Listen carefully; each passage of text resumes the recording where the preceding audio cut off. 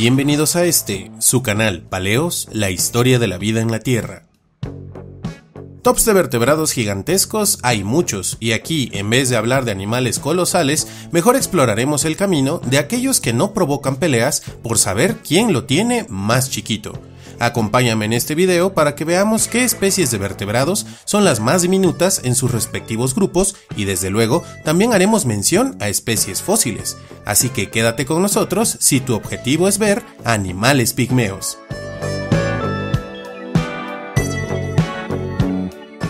El orden de este video será filogenético. Empezaremos con nuestros primos cercanos y nos iremos alejando poco a poco.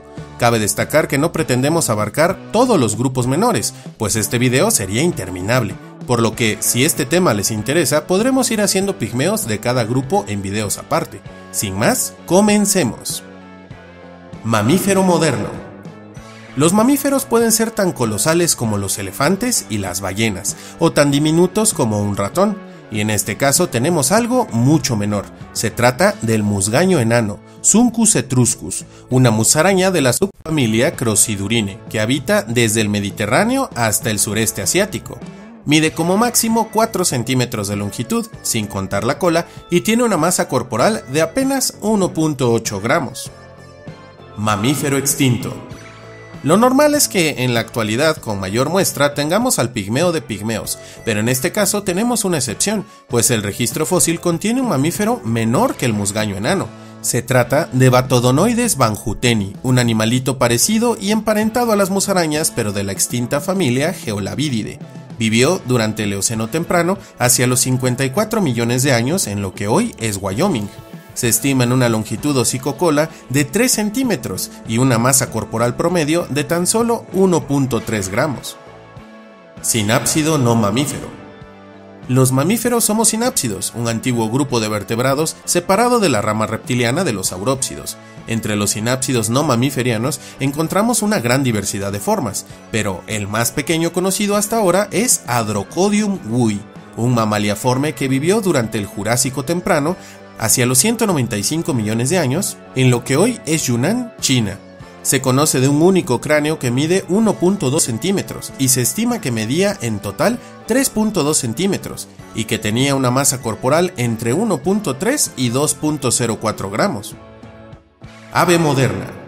Entremos ahora al reino de los saurópsidos. En este grupo también están incluidas las aves y la más pequeña de la actualidad es ni más ni menos que el colibrí sunsuncito, Melisuga helene, que habita Cuba.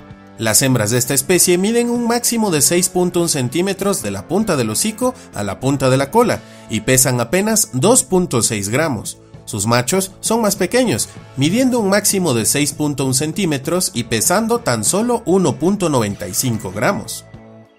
Ave extinta. Aquí resulta difícil precisar cuál de todas las aves extintas fue la más pequeña, debido a lo fragmentario del registro fósil. Por ello, consideramos únicamente a aquellas especies representadas por fósiles corpóreos más o menos completos o completos. En este aspecto tenemos que el ave del Cenozoico más pequeña sea quizá el protocolibrí europeo Eurotrochilus del Oligoceno temprano, que vivió entre hace unos 28 a 33 millones de años en lo que hoy es el sureste de Francia. Este medía entre 11 y 12 centímetros de largo.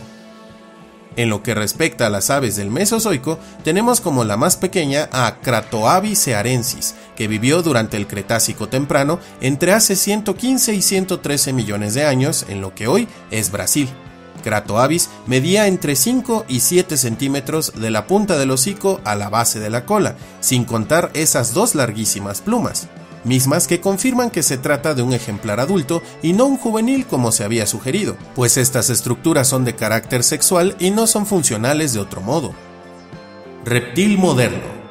Entre los saurópsidos del grupo de los Esquamata encontramos al gecko enano de Jaragua, Spherodactylus ariace, un chiquitín que habita únicamente en el Parque Nacional de Jaragua, en República Dominicana.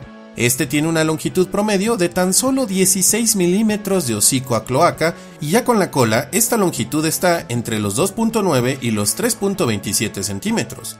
Su masa corporal fluctúa entre los 0.12 y los 0.14 gramos. Sin embargo, hay otro reptil más pequeño, pero este hace trampa, al tener solo uno de sus sexos más pequeño que el chiquitín de Jaragua. Se trata del nanocamaleón Bruquesia nana, que habita en las zonas montañosas del norte de Madagascar y cuyos machos miden apenas 13.5 milímetros de largo hocico cloaca. Sus hembras, por otra parte, miden 19.2 milímetros de largo hocico cloaca. Eso sí, tienen colas muy pequeñas que los posicionan con medidas totales de 1.26 centímetros para machos y 2.89 centímetros para hembras como los camaleones terrestres y pigmeos que son, son incapaces de trepar o de cambiar de color, y su estatus de conservación es crítico debido a la desaparición de su hábitat. Reptil extinto. Como con las aves fósiles nos topamos ante el problema de los fósiles altamente fragmentarios. A este respecto nos ceñiremos a fósiles en ámbar, donde tenemos dos contendientes, ambos incompletos. Por una parte, Yantarogeco balticus, preservado en ámbar báltico del Eoceno y que data de hace unos 44 millones de años. Si este sigue las proporciones de los gecos modernos, tendría entre 20 y 22 milímetros de longitud hocico-cloaca. Sin embargo, existe la duda de si el ejemplar realmente representa a un adulto o no. Otro reptil en ámbar, pero que sí es un adulto, es un ejemplar de Oculudentavis naga, un escuamato basal descubierto en ámbar de Birmania del Cretácico tardío de hace unos 99 millones de años. Este presenta un cráneo de 1.42 centímetros de largo y de tener una proporción corporal similar a otros escuamata, mediría entre 5.5 y 6 centímetros de longitud total. Pero si abandonamos por completo las estimaciones y nos referimos a esqueletos en mejor estado, el reptil fósil más pequeño sería la Certulus bipes, un escuamata basal del Pérmico tardío que vivió entre hace unos 254.5 y 252 millones de años en lo que hoy es Sudáfrica. Su esqueleto muestra que medía unos 5 centímetros de longitud o cloaca.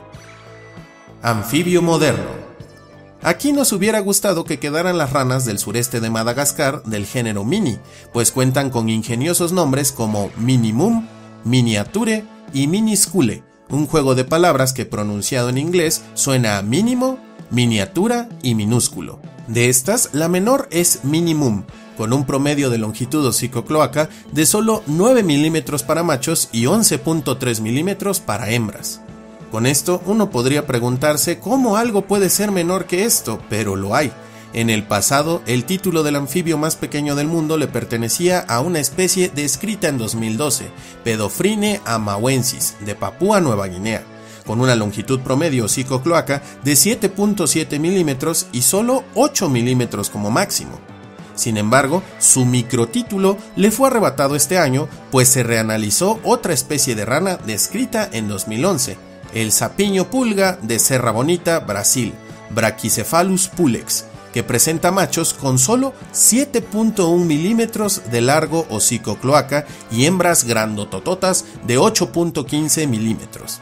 Estas medidas ubican a esta especie como el vertebrado más pequeño del mundo, pero por desgracia está en peligro por destrucción de su muy reducido hábitat. Anfibio extinto como ya vimos, el registro fósil tiene un sesgo particular hacia criaturas muy pequeñas y con los anfibios no es diferente. En este sentido, los fósiles del anfibio más pequeño conocido son paradójicamente de un total anónimo que solo dejó huellas. Así es, se trata de un ignotaxón y no de una especie corpórea. Este es llamado Batrachichnus salamandroides y consta de un rastro del carbonífero tardío procedente de Nueva Escocia, Canadá, que probablemente fue producido por un temnospóndilo, con una forma similar a la de Dendrerpeton. Las huellas mejor preservadas de este rastro miden 2.38 por 2.54 milímetros para la pata trasera y 1.58 por 1.65 milímetros para la delantera.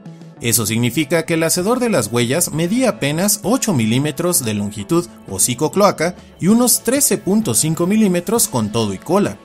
Esta medida inverosímil hace suponer que las huellas son de algún juvenil, pero no hay nada fuera de su diminuta talla que así lo corrobore, por lo que es un misterio si es o no el caso.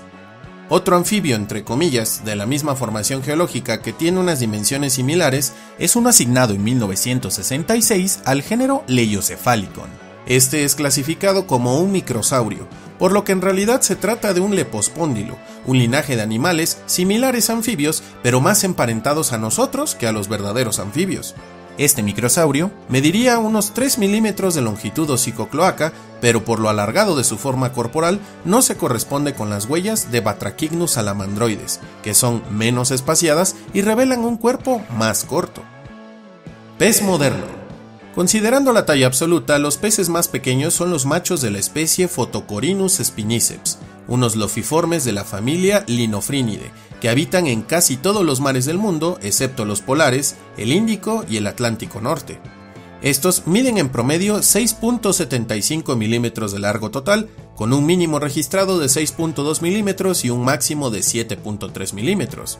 Pero sus hembras son mucho más grandes, ya que miden en promedio 4.78 centímetros de largo con un mínimo registrado de 4.6 centímetros y un máximo de 5.05 centímetros. Esto se debe a que, como en otras especies de este grupo de peces, los machos son parásitos sexuales que una vez que encuentran una hembra, se adhieren a ella y poco a poco fusionan sus tejidos con la misma hasta no ser más que un saco de esperma portátil. Por ello, esta especie hace trampa, y debemos encontrar aquellas que son de vida libre. Entre los peces sin dimorfismo sexual extremo tenemos en el agua dulce de Sumatra y Bintán a Pedocipris progenética, que presenta machos adultos con una talla promedio de 9.8 milímetros de largo y un mínimo registrado de 8.2 milímetros. Asimismo, sus hembras miden en promedio 10.3 milímetros y se han registrado hembras adultas de apenas 7.2 milímetros de largo. Esta especie está cerca de estar amenazada, pues se encuentran en solo 10 a 20 sitios en toda su distribución, lo que los hace particularmente sensibles a la extinción. Por otro lado, el pez marino más pequeño sin dimorfismo sexual extremo es el góvido conocido como pez infante, de la especie Schindleria brevipinguis, que habita en la Gran Barrera de Arrecife y en el arrecife Osprey de Australia. Esta especie está representada por machos adultos que miden en promedio 9.775 milímetros de largo, con un mínimo registrado de 7.2 milímetros, y con hembras sexualmente maduras desde los 8.4 milímetros de largo y hasta los 9.1 milímetros. Pez extinto. Nuevamente nos topamos con el problema del sesgo de preservación, pero esta vez parece que sí hay un contendiente o algo así.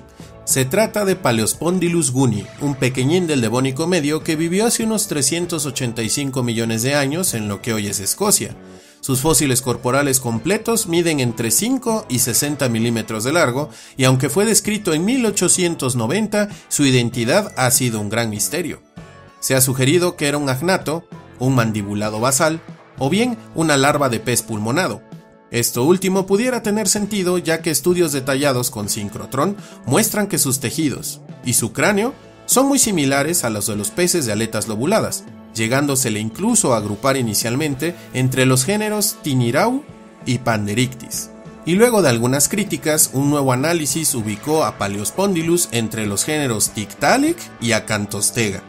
De ser una larva, se piensa que esta podría pertenecer a la especie Dipterus valenciensi, de 35 centímetros de largo, pero su talla variable y morfología consistente sugieren que podría ser una forma adulta. Eso sí, el pez de aletas lobuladas más pequeño del registro fósil es sin duda Strunius rolandi, de 10 centímetros de largo, que vivió durante el Devónico tardío entre hace unos 370.6 y 364.7 millones de años en lo que hoy es Oriol, Rusia. Condrictio moderno. Los condrictios o peces cartilaginosos incluyen tiburones, rayas, quimeras y sus parientes. Entre estos es raro encontrar especies milimétricas, con lo que el más pequeño del grupo parece un gigante en esta lista. Se trata del tiburón linterna enano Etmopterus perry, una especie que habita en las costas atlánticas de América tropical. Este tiburón tiene machos maduros de entre 16 y 17.5 centímetros de largo, y sus hembras son ligeramente mayores, con tallas que van de los 19 a los 20 centímetros de largo. Habita en profundidades que van de los 230 a los 530 metros, por lo que es complicado indagar más sobre su biología. Condrictio extinto. Si normalmente es difícil tener fósiles completos de condrictios, descubrir uno pequeño es verdaderamente un reto, además de que ya vimos que no suelen ser organismos muy pequeños que digamos. En este sentido, el condrictio corona más pequeño conocido podría ser Denea furnieri, que vivió durante el Carbonífero temprano entre hace 346 y 340 millones de años en lo que hoy es Bélgica. Esta especie se estima en una longitud de 60 centímetros, y a pesar de su parecido a un tiburón, en realidad es más cercano a una quimera, estando situado en la subclase Holocefali. Pero hay algunos condrictios más pequeños, solo que no están tan cercanamente emparentados a los modernos, pues son basales. Entre ellos, uno de los primeros condrictios reconocidos, Pucapampela Rodríguez, que vivió durante el Devónico Medio hace unos 393.3 millones de años en lo que hoy es Bolivia, y que, de seguir las proporciones de sus parientes basales, mediría unos 27 centímetros de largo. Pero, ¿qué hay del grupo que dio origen a los condrictios? El de los acantodios. Pues entre estos tenemos a Triaseugacanthus affinis, que vivió durante el Devónico tardío hace aproximadamente 380 millones de años en lo que hoy es el este de Canadá. De esta especie, el adulto más pequeño conocido medía 4.5 centímetros de largo, aunque podían crecer hasta los imponentes 4.9 centímetros y existen acantodios más pequeños, pero su estatus suele ser de juveniles. Placodermo. Los placodermos son un grupo extinto de vertebrados con mandíbulas que dio origen tanto a peces cartilaginosos, vía acantodios, como a peces óseos. Entre los más pequeños encontramos a Microbrachius dicki, del Devónico Medio de Estonia. En esta especie se han registrado armaduras dérmicas, que es esta región de aquí, de entre 3 y 3.5 centímetros, con esto se infiere que pudieron llegar a alcanzar hasta 7.5 centímetros de largo total. Lo sorprendente es que estos ejemplares no solo representan individuos sexualmente maduros, sino también el ejemplo más primitivo de cópula en vertebrados. Agnato moderno. Agrupamos en el grupo artificial de los agnatos a los vertebrados más primitivos que carecen de mandíbulas, lo cual es la condición ancestral del grupo. En este sentido, hoy en día contamos únicamente con dos grupos de agnatos, los mixinos y las lampreas. De estos, la especie menor corresponde a la lamprea del lago Miller, Entosphenus minimus, con adultos de entre 72 y 145 milímetros de largo total y un promedio de 10 centímetros de largo. Actualmente, esta lamprea de Oregon, Estados Unidos, se encuentra considerada como vulnerable a la extinción, pues la zona donde habita es muy pequeña y altamente susceptible a cambios externos. Agnato fósil. Finalmente llegamos a la base del árbol evolutivo de los vertebrados. Por lo complicado que es clasificar los fósiles de estos organismos, descartaremos a taxones de asignación dudosa como Milocumingia, Jaicohuela, Yunanoson, Picaya o Cataimirus, pues parece que estos podrían ser cordados no vertebrados. En ese sentido, el vertebrado más primitivo confirmado y además el más pequeño es Hycowictis ercaicunensis, de entre 2.5 y 3 centímetros de longitud. Este vivió durante el Cámbrico temprano, hace unos 518 millones de años, en lo que hoy es China. Con esto, llegamos al final de nuestro recorrido por los más pequeños de todos los vertebrados más representativos de cada grupo, desde los mamíferos a los peces. Esperemos que muchos de estos que se encuentran amenazados o en peligro de extinción puedan seguir existiendo en un mundo de monos desnudos e indiferentes por estos animales pigmeos.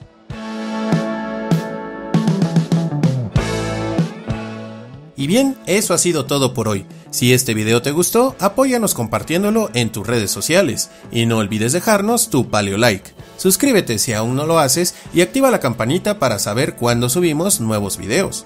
Muchas gracias a nuestros mecenas que hacen posible nuestra labor. Y si tú también quieres acceder a estos beneficios exclusivos, además de un megacurso de paleontología de vertebrados, no esperes más y conviértete en uno de nuestros Patreons. Esto fue Paleos, la historia de los pigmeos en la Tierra.